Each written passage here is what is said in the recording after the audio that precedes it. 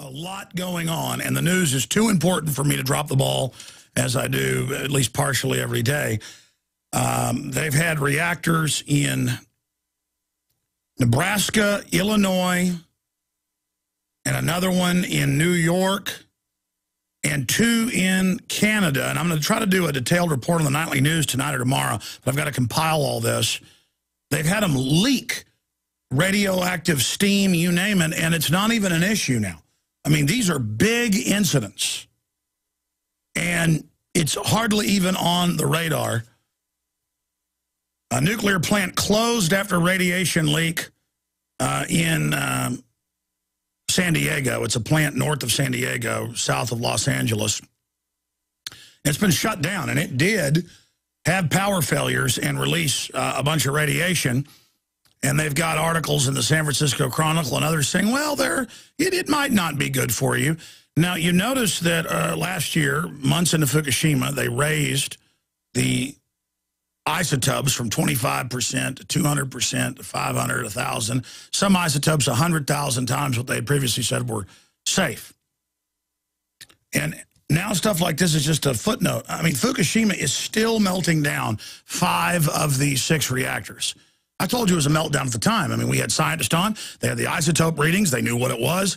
Uh, all that radioactive waste has been now hitting the U.S. coast, not just in the air, but but now the debris in the last two months has been hitting and piling up. They're not even warning people not to mess with it. This is stuff with plutonium on it. And you, and you wonder why you get cancer a year later and die. I mean, it's, it's sick. A new radioactive leak from Fukushima reactor, New Zealand Herald.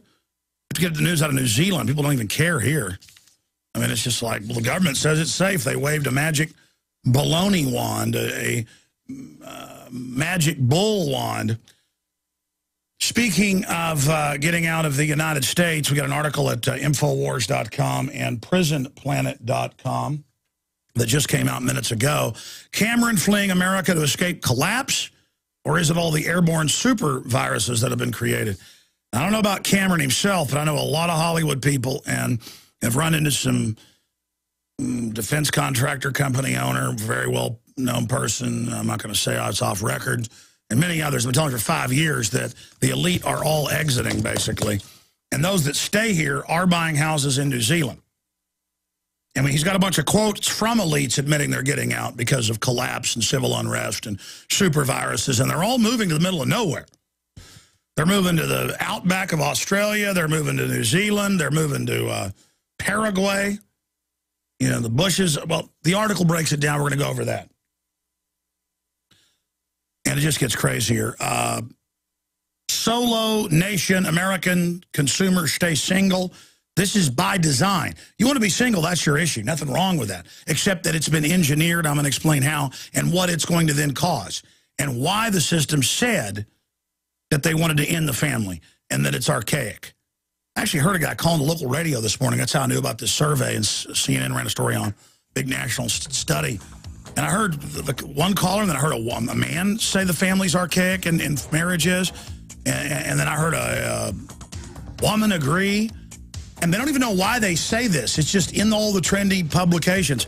If you think civilization collapsing is trendy and being isolated slaves, well, I guess it is trendy. So is cancer exploding. So drink your bisphenol A.